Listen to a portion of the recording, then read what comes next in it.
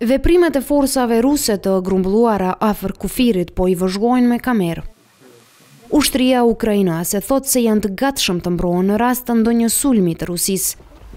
Këtë vetëbesim e kanë pasi e njohën tamam armikun e tyre. Tani e dimë se kush është armiku, sepse në vitin dy mijë e katërmbëdhjetë kur filloi lufta, ishte e vështirë për njerëzit në Ukrainë ta besonin se fqinji ynë, të cilin e konsideronin vëlla, do të na sulmonte. Në pritje të luftës dhe të vetëdijshëm për rrezikun janë edhe banorët në qytetin e minierave, pranë kufirit.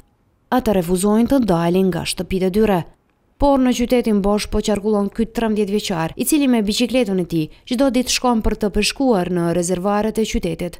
Me krisma të armëve është mësuar, derisa në mendje e ka këshillën e xhaxhait se si duhet të mbrohet në rast se lufta e zë në rrugë.